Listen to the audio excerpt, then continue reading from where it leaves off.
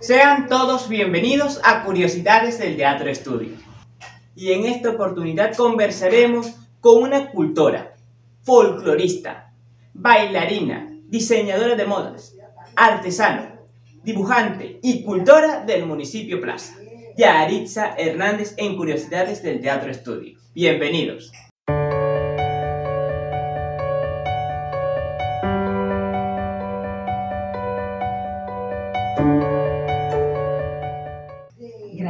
Argenis. De verdad, muchísimas gracias y a Curiosidades del Teatro por esta gran invitación. Es todo un placer. Háblenos un poco de cómo inició en el mundo de la cultura y sobre su trayectoria. Bueno, debemos tomar en cuenta de que soy hija del patrimonio cultural viviente Cecilia Naranjo y todo ese amor por las manifestaciones tradicionales que identifican a Venezuela vienen realmente por ella. Ese amor que, que difunde dentro de, del hogar y en mí este, ha influenciado muchísimo. Eh, fíjate bien que yo en vez de tener una muñeca a los cuatro años, ya yo tejía, puedo mostrar estos hermosos escarpines. Este, ya yo tejía a los cuatro años, a los seis años aprendí a tejer en dos agujas. Entonces, esto me ha permitido a mí desarrollarlo, enseñarlo, difundirlo. ¿Ves? Este, elaboro apargatas, este es un telar para elaborar las apargatas, las hago tejidas y también ah, okay. este, en telar y aquí tejidas. ¿ves? Ah, sí, es tejidas, no me había Sí, este es tejida, tejida en crochet. Mm. ¿ves? Entonces, eso me ha permitido a mí, bueno, realizar todas esas partes este, de artes eh, manuales. Sí. Eh, como dijiste, sí, soy este, docente, docente investigadora de las manifestaciones tradicionales. Como tú mismo lo dices y como mi madre nos ha transmitido el amor por la manifestación tradicional, de hecho, del San Juan de Guarenas, de los pastores de Niño Jesús, porque eh, me vinculé, estoy casada con José Maestre, que es cultor de esta hermosa manifestación tradicional, y de la cual su mamá me entrega eh, el Niño Jesús, y entonces ahora soy custodia del Niño Jesús. ¿Ve? Entonces, eh, los estudios me han permitido a mí difundir nuestra manifestación, este amor que debemos conseguir la soberanía cultural de Venezuela Así es. porque realmente eh, la transculturización, Desculturización también se puede decir. sí, tal cual, realmente ha aquí fortalecido eso. y ha marcado una huella en el desarrollo de las comunidades, porque la desculturización es la falta de enseñanza cultural y de las tradiciones y raíces de nuestra tierra, porque como usted sabe, por ser docente y por ser cultora también, nosotros tenemos muchísimas culturas, pero las más destacadas son la africana, la aborigen y la española. Bueno, de hecho tengo raíces africanas, realmente tengo raíces africanas y aborígenes. Así es. Y claro, mi madre, mi, mi abuelo era indígena y este, también tengo raíces de este linaje tan hermoso que es de José Antonio Páez, Así es. También de los naranjos. de los naranjos, sí señor, también de los naranjos y de los Miranda. También. Entonces, este, ese amor por esa manifestación me llevó a mí a, a estudiar como docente para poder transmitir. Nosotros a- eh, con, el, con el grupo de danza matigua, yo como investigadora de las manifestaciones tradi- tradicionales y co- coreógrafa de esa agrupación me permitió regalar el conocimiento a todo aquel que estaba con nosotros. Así es. De hecho, como docente también eh, he enriquecido al, al Estado Miranda porque me ha permitido este, también realizar diferentes funciones. Y esas funciones, entre ellas está que era eh, coordinadora de cultura del municipio Plaza Zamora Araira. Y a través de esas investigaciones de las manifestaciones tradicionales enriquecimos a todos esos docentes en el área cultural que le regalamos todas, todas, todas las investigaciones. De hecho, hasta este arte de, de lo que es el tejido y artes manuales también.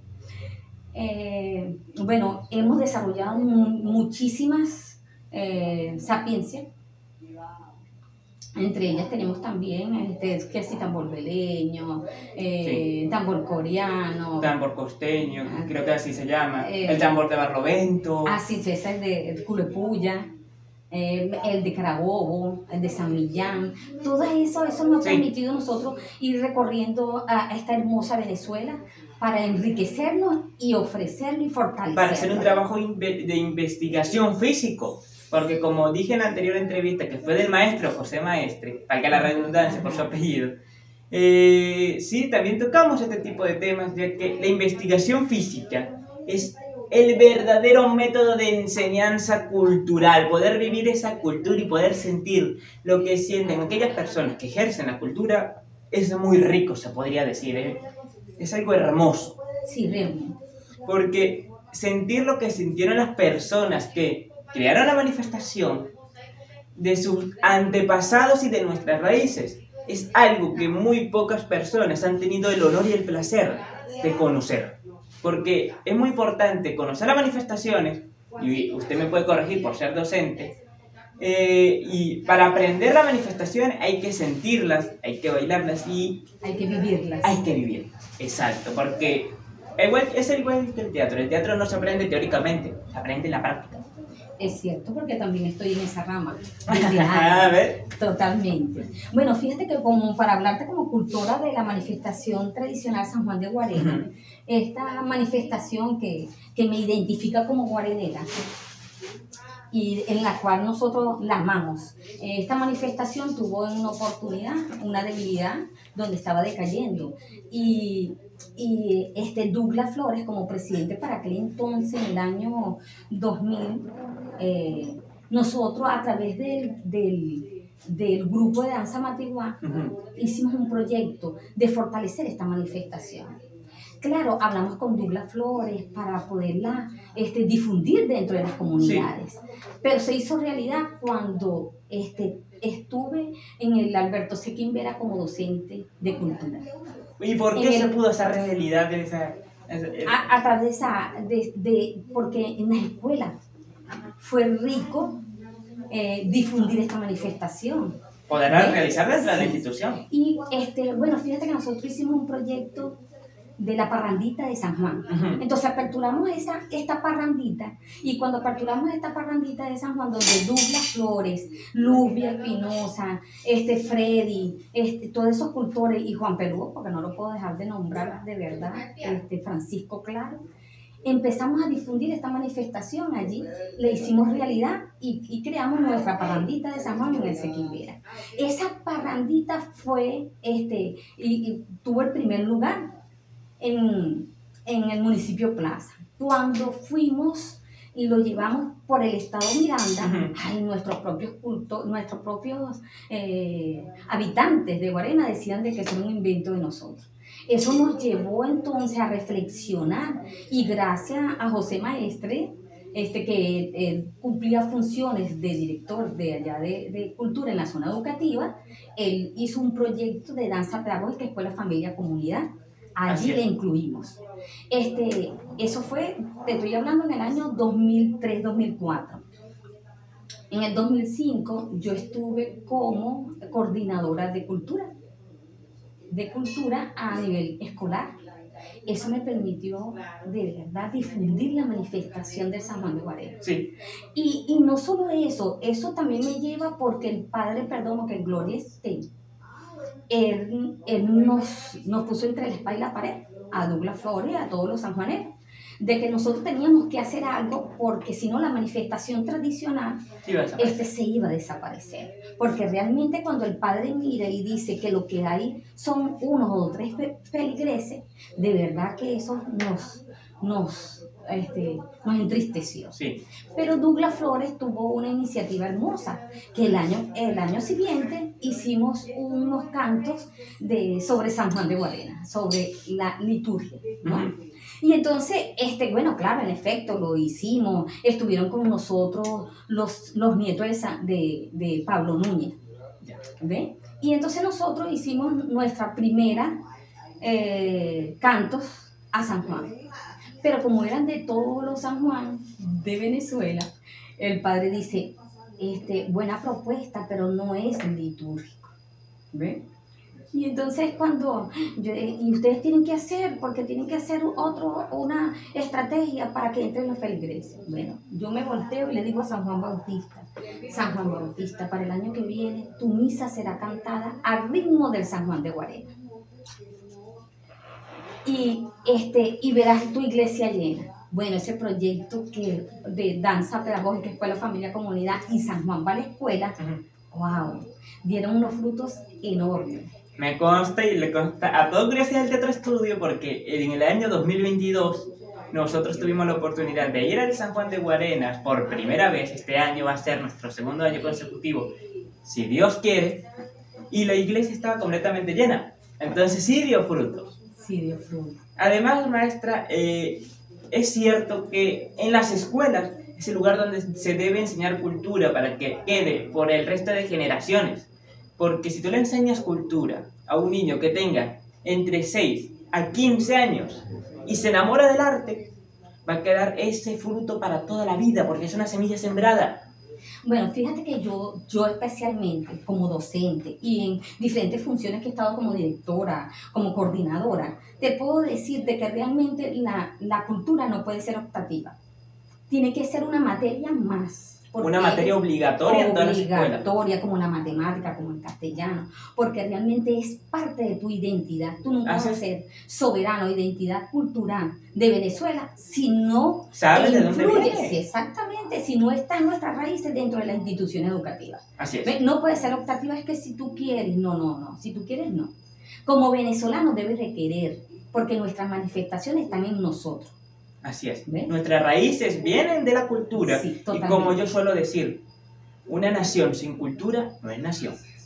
Y un país sin nación no es país tampoco. Ah, exactamente, así mismo es. Porque eh, allí es donde está el secreto. El secreto de, de, fortalecer como venezolano dentro de las instituciones educativas. Por eso es que nosotros nos dedicamos a fortalecer y a difundir. De eso de San Juan va a la escuela es el proyecto y también una escuela para San Juan.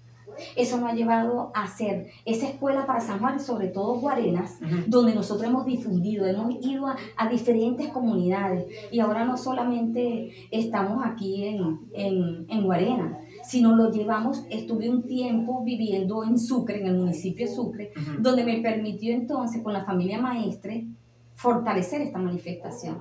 Desde el más pequeñito este, hasta el más grande canta. Samuel, que es uno de ellos, desde los dos años, te puedo mostrar una foto que te la envío después, donde en una oportunidad en este proyecto de, de danza de agua de la familia comunidad, Samuel tenía, dos, eh, Samuel tenía dos añitos y vino entre esas 200 personas. Mira, Samuel tiene ahorita 19 años y te canta hermoso San Juan. Entonces, no solamente difundimos a San Juan en el estado Miranda, sino en el municipio Sucre, en el municipio, en el municipio Zamora, donde actualmente residen. Sí, sí, también. No, también. Nosotros terminamos la fiesta en Guarena y nos venimos para acá hasta el amanecer. Así Y es San Juan de Guarena en Guartete. Maestra, tengo una pregunta que este, me ha llamado mucho la atención. Hasta donde yo tengo entendido, en las eh, hay una parte de Guarenas que se llama La Pelota. Y usted creó ahí una agrupación que es proveniente también del San Juan, se podría decir que una de las ramificaciones que después se convirtió en una semilla, que es la pelota cantora.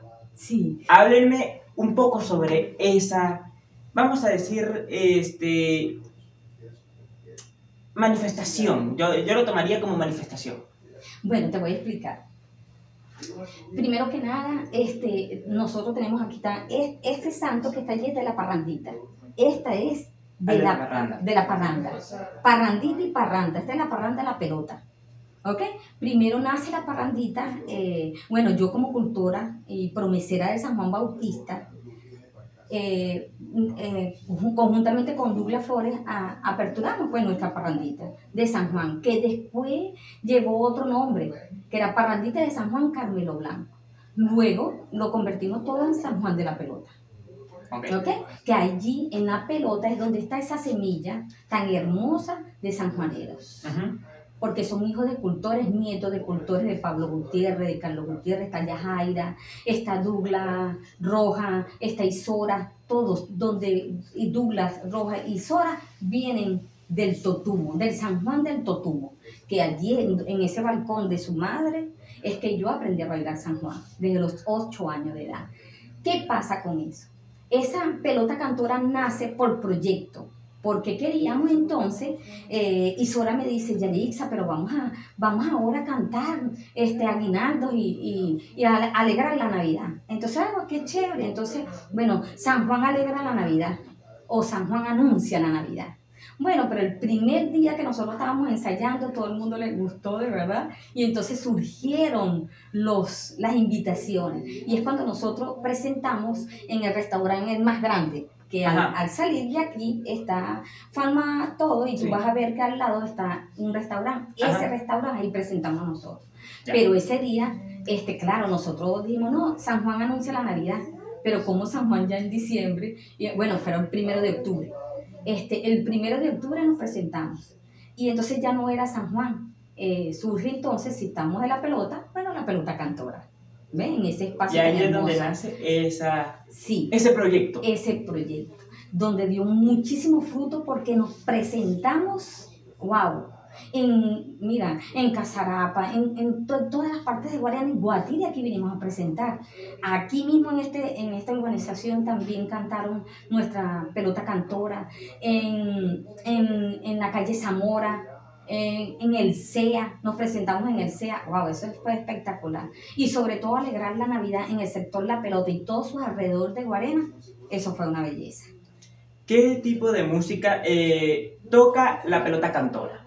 Aguinaldos, aguinaldos. ¿Solamente aguinaldos? No, ahorita estamos en el proyecto de seguir cantando otros géneros.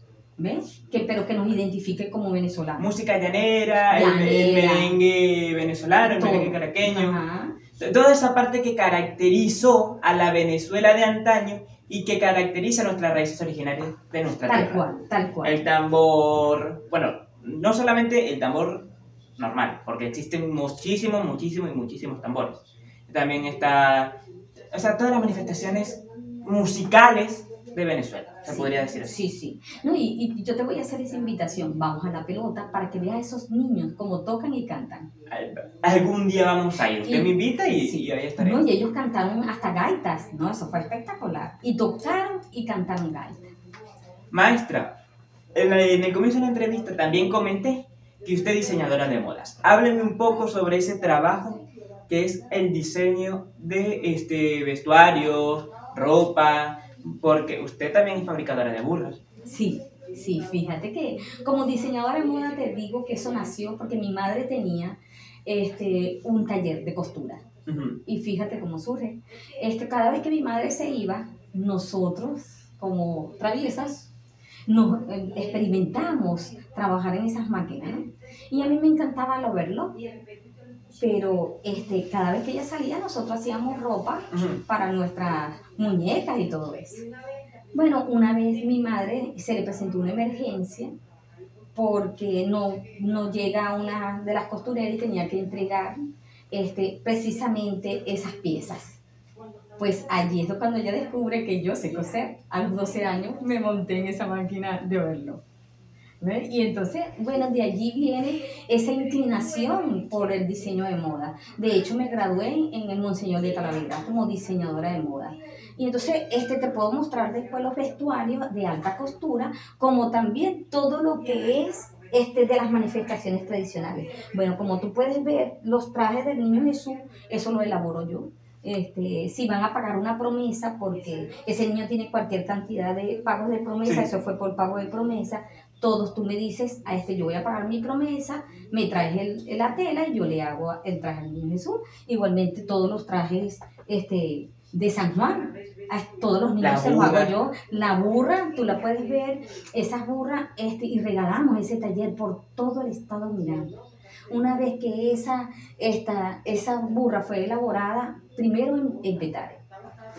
Este, esa, esa burra realmente, eh, el diseño como tal, es de la burra de petar, porque así se lo diseñé a mi esposo, como bailador de burra.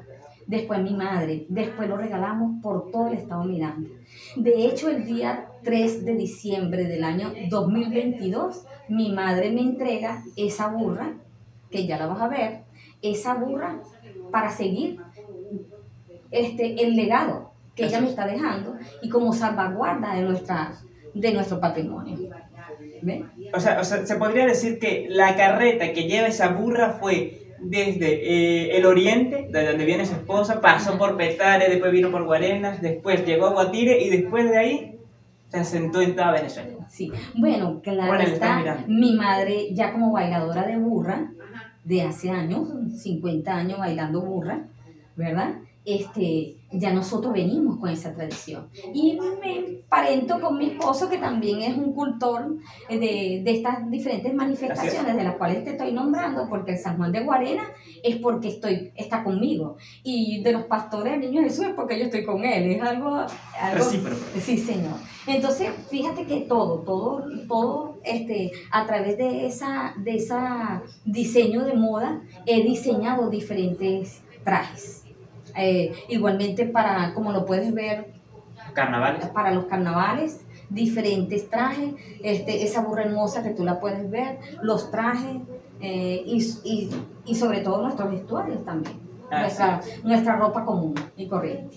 Maestra, ¿qué trabajos de investigación ha podido realizar? ¿A qué partes del país, a qué lugares de Venezuela ha podido viajar y aprender sobre las distintas manifestaciones culturales que habitan en nuestro territorio venezolano? Wow, este, he conocido a Venezuela gracias a estas investigaciones tradicionales. Me he ido a Falcón, a, bueno, a Falcón, eh, he estado en la vela de coro, eh, en Barquisimeto con la Zaragoza, hemos estado en Mérida con la paradura del Niño Jesús porque este, no hemos, realmente hemos adaptado toda esa investigación como paradura del niño y nosotros la hemos adaptado a través de como Estado Miranda. Así es. Este, tenemos los diferentes eh, San Juanes que celebramos aquí en Venezuela. He tenido la oportunidad de recorrer por todos los estados, que sí, Carabobo, Yaracuy, eh, este, Miranda, por todos los espacios de Miranda. Eh, nos hemos ido eh, para Falcón sobre la, el, tambor, el tambor beleño, que es porque fíjate, mira la parte más curiosa. En el único estado que bailamos con la cabeza de San Juan es en Falcón, en la vela de cobre. Porque sí sabemos cómo perdió la cabeza San Juan, ¿verdad? Así es. Ok. Y es, fíjate que su dedito que tiene hacia arriba, ¿qué significa? Otros vendrán a bautizar el nombre del Espíritu Santo. Así es. ¿Ven? Entonces, eso es muy importante. Eh, es que el, el mm, es que son tantos, mira, el Tinaquillo, los diablos de Tinaquillo, los diablos de, de Yare, este, las 21 diabladas, nos hemos ido por el limón, en, en el limón hemos estado este, con, los, mm, con los pastores del limón, con los pastores de San Joaquín, con los pastores de, de los teques. Con la diversa manifestación Y una de las que más este, me he identificado, porque de hecho me casé allá, fue con con la fiesta de la Catón, de los indígenas, de, de mis hermanos, porque realmente son nuestros hermanos cariña. ¿Y por qué le gusta tanto esta manifestación? ¿Y por qué eligió casarse estilo cariña, se podría decir? Sí, espectacular. Ellos, bueno, ellos, ellos nos bautizaron tan hermoso por ese trato tan bello que nosotros compartimos en una oportunidad como fue el encuentro de saberes que se hace a nivel educativo. Eh, eso fue un encuentro este, magisterial. Fue todo, toda Venezuela, los 24 estados, 20, todos los estados estuvieron presentes aquí en, en Miranda. Y entonces compartimos con diferentes manifestaciones indígenas y entre eso estaban los cariñas donde también hasta nos bautizaron, nos hicieron un ritual hermosísimo allá por el trato tan hermoso, porque yo digo que las funciones te hacen ser más humilde y la educación te lleva a ti a compartir mejor y poder socializar. Este, no tienes por qué tener unas ínfulas grandes porque no es así. Eso te permite a ti este, ser mejor ser humano. Entonces, eso tan hermoso nosotros compartimos. En el mes de noviembre se celebra en el- la fecha del Día de los Muertos, la fiesta de la Catombo. allá. Entonces, esa fiesta de la Catombo, eh, te voy a decir, primero llegamos a esa tierra sagrada tan hermosa. Ellos te, te piden permiso. En esa oportunidad éramos como 32 personas que fuimos para allá, para la fiesta de la Catombo con los cariñas, eh, exactamente de la comunidad del Guasey, en el estado Anzuategui. Piden permiso, entramos entonces a su comunidad, hacen un ritual bellísimo a las 12 de la noche para la bajada de los ancestros. Al día siguiente te llevan a recorrer las diferentes casas donde tú tienes que probar su comida típica. Este, no te lo dicen sino después que te lo comas. Ahí vas a probar eh, iguana, iguana que te la probé en, pero riquísima, en diferentes platos. Mira, asada, guisada, este, mm, mm, eh, como arroz con, con, con iguana, Ajá. pero eso era como uno dice el arroz con pollo. No, eso es divino, divino, divino, divino. Y te, te- tienen una, una mesa con cualquier cantidad de, de rubros donde tú, el visitante es el que tiene que comer primero para que todos los demás acompañen. No puedes despreciar ninguno. Mm. Y de paso, si tú no te puedes comer todo lo que te llevas, tienes que guardarlo. Aunado a eso, después tú recorres esas 50 o 60 casas, ¿verdad? Este, te llevan a la plaza, porque tienen una plaza, con una mesa kilométrica, con todo lo que cada casa te deja, ¿verdad? Entonces, aparte de que ya probaste todo de esas 60 casas, ahí te espera también otra suculenta comida. Y entonces tú te tienes que sentar a comer todo eso y llevártelo, porque no te lo permiten que lo dejen allí. Tú lo tienes que llevar. Tengo una anécdota que eh, en una oportunidad nos fuimos este, solamente seis personas. Entre esas seis personas tú te podrás imaginar esas mesas kilométricas cómo nos lo íbamos a llevar. Nos tenían una patilla así increíble. Increíble. Así una patilla. Una patilla increíble que yo decía, ¿cómo nos llamamos esta patilla?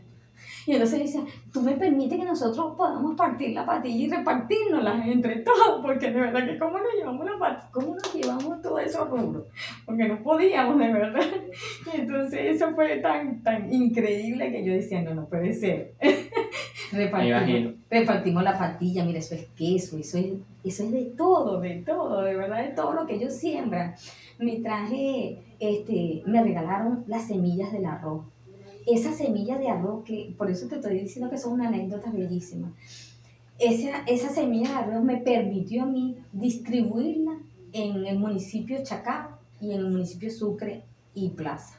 Regalamos semilla de arroz y sobre todo en Mariche, donde hasta intercambiamos con esa semilla de arroz, esa profesora de esa escuela de Mariche me regaló entonces a mí las lombrices californianas. En aquel entonces yo estaba como directora en la Unidad Educativa Nacional Llanito. Y entonces, bueno, te podrás imaginar, yo cultivando las lombrices y ella cultivando arroz. No, eso fue espectacular, de verdad que eso, eso ha sido, esas experiencias con los cariñas han sido maravillosos. Y entonces nos identificamos porque, nos identificamos mucho porque es nuestras raíces Sí, son nuestras raíces donde nosotros tenemos que fortalecer, difundir y sobre todo mantener. Y de hecho, este, cada vez que hago un proyecto y donde me gradúo, porque he tenido diferentes estudios, siempre lo hago de cultura. ¿Ven? Y donde siempre en mis escritos estarán los cariñas y los guayú. En los guayú tengo otra experiencia hermosa. ¿cuál fue? Ellos me enseñaron el himno de nuestro, de nuestra, el himno nacional en el idioma guayú. Y lo regalamos por todo el estado Miranda. De hecho, de hecho, yo creo que ya todo el mundo lo canta, porque nosotros lo regalamos. De verdad que eso fue una experiencia maravillosa, donde lo entonamos por primera vez, que hasta se me salieron las lágrimas, fue en el, en el Parque del Este, donde habían más de 5.000 personas con el proyecto de, de, de regalar esta, eh, lo que es nuestra, Nuestra manifestación. nuestras manifestaciones, ¿no? Pero ahí fue el carnaval. ¡Wow! ¡Qué espectacular! De De verdad, cuando lo 5.000 entonamos- personas cantando el himno nacional. No, habían 5.000 personas y lo cantamos fueron Rosmar Rosales y mi persona. Ajá, ok. Pero igualmente lo escucharon estas 5.000 Sí, personas. señor. Sí, Eh, señor. No lo pudieron cantar porque es difícil aprenderse ya un idioma internacional y aprenderse una lengua indígena que aunque esté en nuestras raíces es complicado aún. Eso también yo te digo de que deb- deberíamos de solicitar de que el idioma, así como se, se enseña en inglés en todas las instituciones educativas, deberíamos de aprender nuestras raíces. Y de para nuestro ese idioma, porque ya no es, ya no es, es, es, mm, este, el español solamente. exacto, Porque Venezuela tiene, hasta donde yo tengo entendido, más de 200 lenguas, inclu- y incluso más, yo creo que llegan y superan las 300 lenguas en idioma aborigen, porque cada región tiene su propio idioma. Cada, eh, aunque sea la misma colonia indígena, por ejemplo, los mariches, cada comunidad tiene su propio idioma. Y Venezuela es, una, es uno de los países con más multiculturalidad en lenguaje de toda América. Incluso eh, creo que está en el cuarto lugar de idiomas a nivel mundial. sí, bueno, fíjate, todavía existen autóctonos, si no me equivoco, aproximadamente 42 etnias, donde con su propio idioma, porque ya no le podemos decir lengua, sino idioma. Yo- así es. idioma este, eh, indígena. Entonces deberían, de verdad, no solamente donde están los indígenas, en el estado Zulia, en Anzuategui, en Amazonas, este, conocer es- esos idiomas, no. Deberían también conocer parte de, esa, de ese idioma. Así es. Seleccionar en que sea uno. O, o, o traer a cada uno de los indígenas para que nos enseñen, así como nos enseñan inglés. Primero, ¿por qué? Porque nosotros tenemos que relacionarnos. Nosotros tenemos que este, eh, identificarnos con Así es. nuestra nación. De verdad que a cada instante lo, Poder lo estoy diciendo. Sí, a cada instante te estoy diciendo de verdad que nosotros tenemos que, la soberanía cultural la necesitamos. Y quiero hacer un llamado a las diferentes autoridades de, eh, de Venezuela, el gobierno nacional, que por favor eh, les den, eh, o que los cultores entren en una nómina, porque ellos también son maestros y profesores, y profesores de nuestra cultura, de nuestra raíz y de nuestra tradición. Y es bonito aprender sobre algo que nos pertenece a nosotros, además de nuestra propia lengua, de la matemática, del inglés, porque los cultores son las únicas personas que saben qué pasó cuando llegaron los aborígenes, cuando llegaron nuestros antepasados africanos y, lo que y cuando llegaron los españoles, porque nuestra cultura se forma por esas tres culturas, esa es la base principal del venezolano. Hay que rescatar nuestros valores originales. Y quiero hacer una reflexión exhaustiva y llamar a que, esas a que el gobierno nacional y todas las personas que vean esta entrevista reflexionemos sobre la cultura, no solamente venezolana, sino la cultura mundial. Quiero hacer ese llamado y que por favor pongámonos a reflexionar juntos sobre las problemáticas sociales que está viviendo tanto nuestros cultores como la problemática social de la decadencia de la desculturización que está viviendo el mundo.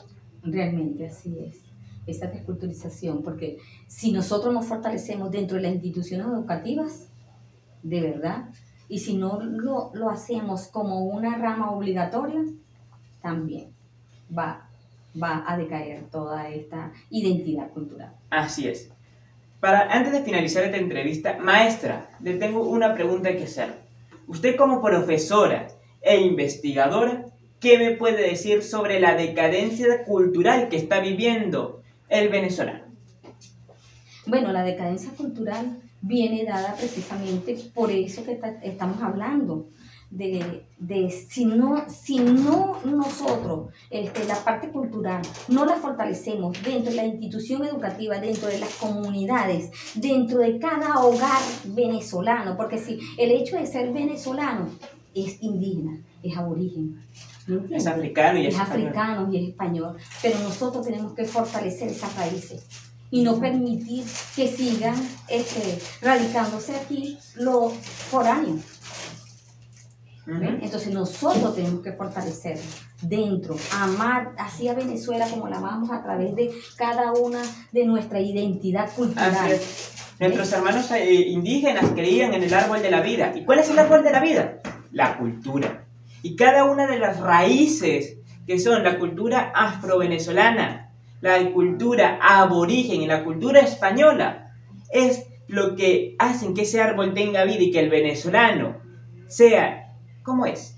Alegre, feliz y siempre tiene una sonrisa en el rostro en los momentos más difíciles. Algo que nos dejaron nuestros ancestros africanos cuando, aunque eran maltratados, aunque eran esclavizados, aún así siempre tenían sus cantos y tenían sus recuerdos de su tierra natal.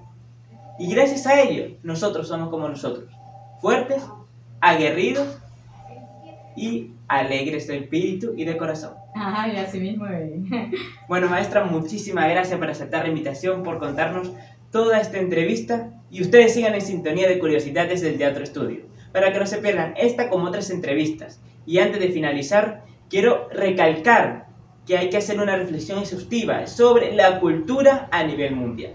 Muchas gracias. Gracias.